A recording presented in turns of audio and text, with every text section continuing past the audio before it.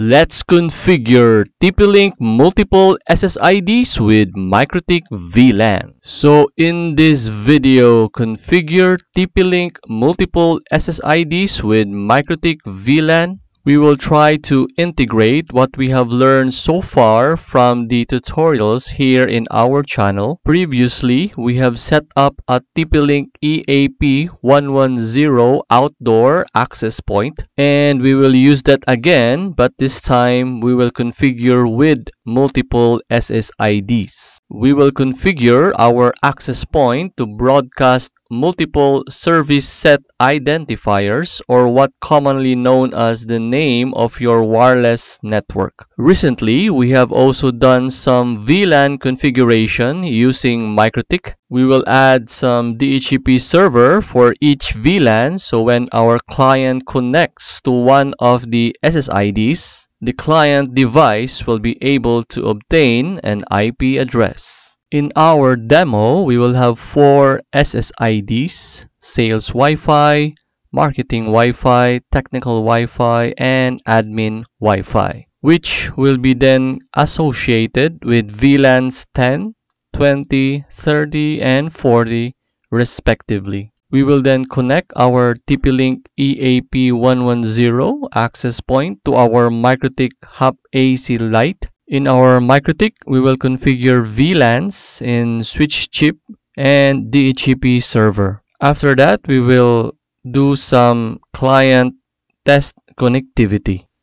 So this will be our demonstration topology. So we have a MikroTik Hub AC Lite that we will configure VLAN on a built-in switch chip and our TP-Link EAP110 outdoor access point will be connected on port number 2. So here in our access point, we will configure multiple SSIDs or multiple Wi-Fi network names and they will be on different VLAN assignments. And we have some clients here, MikroTik Hub AC Lite and MikroTik Hub Lite that we could use later for testing our wireless connection. See to it that we could get or our client could acquire an IP address if we connect to one of the SSIDs. So let's configure first our TP-Link access point so that is why, as you can see, this virtual machine is currently with an IP address of 192.168.0.100 because our TP-Link access point has a default IP of 192.168.0.254. So that is the current address of our computer so that we could reach this default IP of our TP-Link. So let's try and test if there's a reply and yes, we are able to connect to the default IP of our TP-Link so that we could start configuring it. So I have my browser opened and let's type in the default IP of our TP-Link EAP outdoor access point so that will be 192.168.0.254 and press enter. So it is launching to the default login page. So that will be admin and the password will be admin. Okay, so if we could see the or show the password that will be the same as the username. So click on the login button. Next, it requires us to type in a new username. So in our case, we have Inquirinity. Password could be whatever password that you want. So in my case, I will type my usual password. Okay, so you'll type new username and confirm the password. So let's click next to continue with this wizard. Okay, so next is we will configure a wireless SSID for 2.4 gigahertz and the password. So let's just type in one of our Wi-Fi names, in our case, sales Wi-Fi, and the password will be just 12345678. Okay, so click save, and this will apply the settings for which we have entered in for example, sales Wi-Fi in the password 12345678. Next, we will just assume that we have connected to this new wireless network even though we are still actually connected via wired to just finish this wizard. So let's click on the checkbox and click finish. Okay, so we are now under the status page of our TP-Link access point. So what we are concerned for configuration is to go to the wireless menu and configure multiple SSIDs. So this TP-Link EAP110 outdoor access point only supports 2.4 gigahertz. So we could only add 2.4 gigahertz SSIDs so with the add button here we could add more SSIDs so we will now click the add button to add more SSID so for the SSID let's type in marketing Wi-Fi. So in our case, we will enable the SSID broadcast. We will just make sure it's the same to the previous configuration. So WPA PSK. So we have some options here to have WPA2 or simply WPA. So it's not really the concern for this tutorial so for us is we should be able to have more SSIDs and our client will connect. So with regards to the versions and the encryption, so for now it's fine. So the password will remains the same 12345678 and we will not configure any settings here for guest network or rate limit. So let's click OK to accept our additional SSID. Alright, so we now have our additional ID and we will add more SSID, the technical Wi-Fi and the admin Wi-Fi. Let's quickly add the other SSIDs. So clicking the add button and we have technical Wi-Fi so broadcast is enabled, security mode is WPA, and the password will still be the same. And click OK. So it should add another SSID here. Okay, so it's added. Let's add another one, which is our admin Wi-Fi. So should be the same the password should be the same so click OK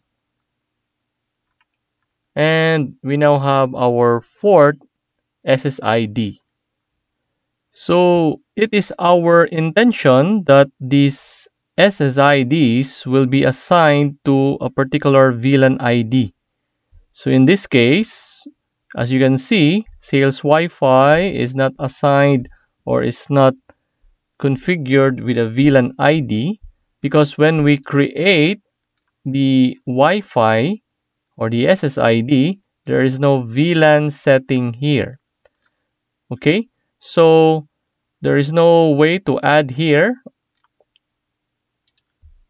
but we could see that there is a VLAN tab here under the wireless menu. So let's click on the VLAN tab, see if we could have some VLAN settings and straight away you could see that there is a VLAN column and we could disable or enable and we now can assign a particular VLAN ID for our SSID. So let's enable the VLAN support for this SSIDs. So enable, enable, and enable for the 4 SSID.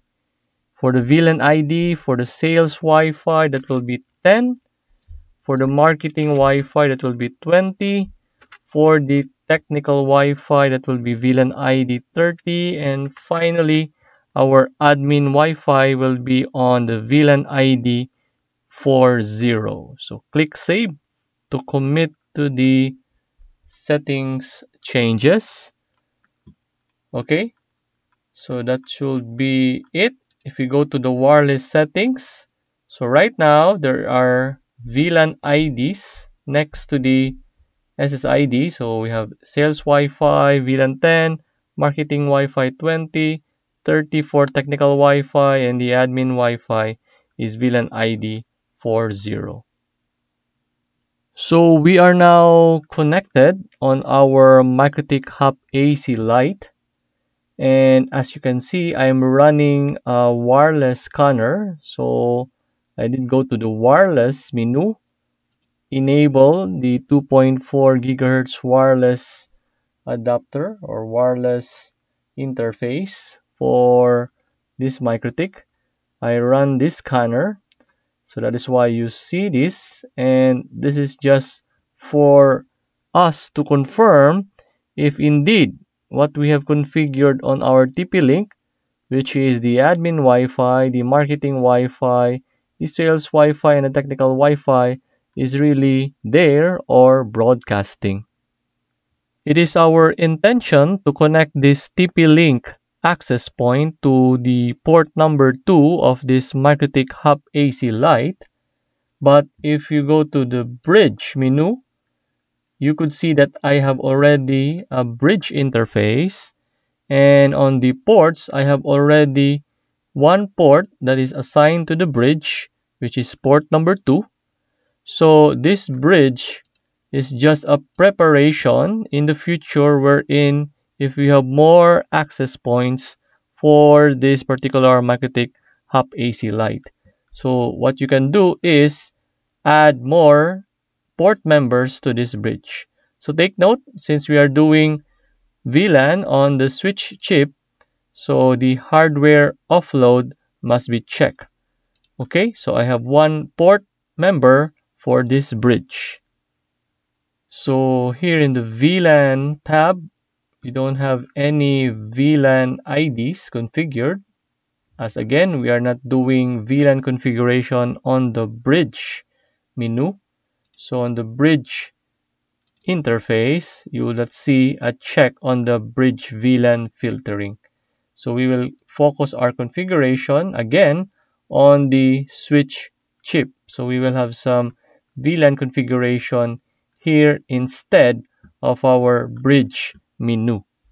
But let's configure first our VLAN interfaces. So we could go to interfaces and we could go to the drop down and select the VLAN and name our VLAN so VLAN 10 and the VLAN ID will be 10 and the interface will be our bridge so we will do it on our VLAN 20 30 and 40 as well so we will create four VLAN interfaces under our bridge so I have created the rest of the VLANs. So you have VLAN 20, 30, and 40. So pretty much the same. The only difference will be the VLAN name and the VLAN ID assignment. So this one is for VLAN 20, 20, interface bridge. For our VLAN 30, so the VLAN ID is 30 and the interface will still be bridge. And finally for our VLAN 40, the VLAN ID is 40 and the interface is bridge 1. Next, we will assign IP address to each of our VLAN interfaces. So we go to IP menu, addresses, plus sign, and type in the IP address. For our demonstration, let's keep it simple, a class C IP address. So the interface, will select VLAN 10. So 192.168.10.1 slash 24 for our VLAN 10. Apply, okay. So I have added the IP address for VLAN 20. So that will be 192.168.20.1. For VLAN 30, that will be 192.168.30.1. And finally, for VLAN 40 interface, 192.168.40.1 slash 24. So we have now IP address assignment to each of our VLAN interfaces. Next, we will configure DHCP server for each of the VLAN interface. So we go to IP, DHCP server. This time, we'll make use of the DHCP setup. So we'll click on this one. And the DHCP server interface will be listening on VLAN 10 or each of the VLAN interfaces. So for this one, Let's have VLAN 10 first. Let's click next. That will be the correct network address for our VLAN 10. So click next. The gateway address, that will be the interface IP of our VLAN 10. So that is correct. So addresses to give out. So this is correct. So next, DNS server. So we could put a sample DNS server here. This time, okay for 10 minutes. So next, and the setup is completed for VLAN 10 interface.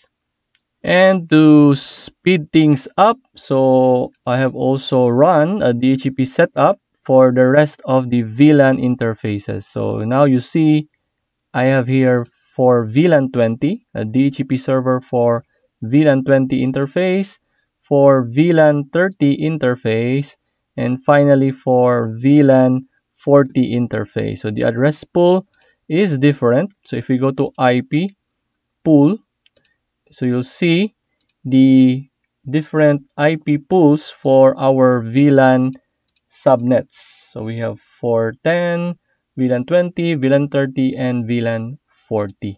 So now the only thing that is left to configure is the MikroTik VLAN configuration on the switch chip. So that's why we go to the switch menu and we go to the port tab. So as you can see, we have Ether 1 to Ether 5 and the CPU port. So Ether 1 is the only connection because this virtual machine is connecting via that interface. But here, our TP-Link, we are planning to connect it to port number 2 or Ether 2. So right now, Ether 2 is not yet connected. So we will focus now our configuration on Ether2, which is the connection to our TP-Link. So this port should allow multiple VLANs to traverse. Because as you remember, we are serving different VLANs here on our SSID. So we have VLAN 10, 20, 30, 40. So this port should not be statically assigned to a single VLAN ID. So it should allow multiple VLANs to traverse to this particular port. So meaning to say this would be a trunk port or a tag interface configuration. So the way to do it in our MikroTik is we will enable the VLAN mode to secure, for example, and the VLAN header for a tag interface. So we will select add if missing and there will be no default VLAN ID for this demonstration.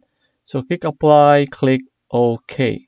So when VLAN is configured, we can also limit the access to the CPU by configuring the VLAN mode to secure. For the VLAN header, we leave it as the default, leave as is. So click apply, click OK. Next, we will go to the VLAN tab and add our VLAN IDs here. So we click the plus sign and type in the VLAN ID, for example, VLAN 10. So the ports will be our port number 2 and we will also add our switch 1 CPU port to access those VLAN 10 or VLAN interfaces that we have configured a while ago. Okay, so Ether 2, the connection to our TP-Link, and the switch 1 CPU for our VLAN interfaces. So click apply, click OK. So again, to speed things up, so I also added the other VLAN IDs. So we have VLAN 20 would still be the same, Ether 2 and switch 1 CPU port, as well as for VLAN 30 and VLAN 40. So now I have connected our TP-Link access point on the port number 2 of our MikroTik Hub AC Lite. So as you can see, it is not slanted. So it's connected now. So all it's left is to go to our client and see if it could join or connect to the wireless or the SSID and for this client to be able to acquire the corresponding IP address from the address pool. Okay, so we will now go to our clients. So I'm now connected to one of our clients. So client 1, which is our MikroTik Hub AC Lite. So WLAN 1 is our 2.4 gigahertz interface. So it's still disabled. So if we go into the wireless tab, I've already configured it. So the mode will be station pseudo bridge because we are connecting from a MikroTik to a non-MikroTik device.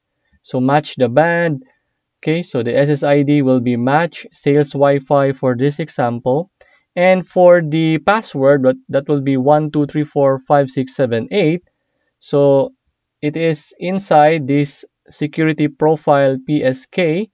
So if I close this one and go to the security profile, so there is this security profile PSK, and you'll notice that is the WPA pre-shared key. So 123456 7, 8. Also, here in our MikroTik Hub AC Lite, I've configured IP DHCP client on WLAN 1 interface. Okay, so let's enable now our wireless interface. So we will see if there is a connection or is able to connect if we have some TX RX and we'll also look at the registration tab. So let's enable this one, selecting the WLAN 1 interface. Let's enable. Let's wait for it. If it's running, and it's running, there is TX and RX reading. So if we go to registration, it's connected to a non-MikroTik because the radio name is not present. Okay. And now let's try to see if it can acquire an IP address. So IP DHCP client and let's enable this one. And yes, our client 1 is able to get an IP from the VLAN 10 subnet. So 192.168.10.254. So if we do some ping test, so tools ping and type in the 192.168.10.1 which is the IP address of our MikroTik Hub AC Lite VLAN 10 interface. So to see if our client can connect to it via our TP-Link access point. So 192.168.10.1 and yes, we are able to reach our MikroTik Hub AC Lite VLAN 10 interface. We are now in our second client, client number 2, which is a MikroTik Hub Lite. As you can see, it has a single wireless interface which only supports 2.4 gigahertz. So it's currently disabled. So already configured the wireless so mode will still be the same station pseudo bridge so marketing Wi-Fi this time and the security profile will be PSK or the name of the profile because here I already configured that there is a PSK or I already added a security profile named PSK and the password will be our 12345678 so let's enable our WLAN 1 interface. So click the check sign or check button and yes it's running so there is TX and RX reading and registration and yes it's connected to a non-MikroTik access point. Now that our Wi-Fi is connected, let's take a look at our IP DHCP client. So I already configured a DHCP client on WLAN 1 interface. So let's just enable this one. And yes, it acquires an IP address of 192.168.20, that's something, which is under the VLAN 20 subnet. So let's go to Tools, Ping, and see if we could reach the VLAN 20 interface IP of our MikroTik Hub AC Lite.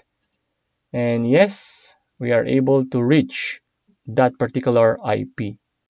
Let's use a mobile phone this time to connect to our technical Wi-Fi. So the password will still be 12345678 and let's click connect.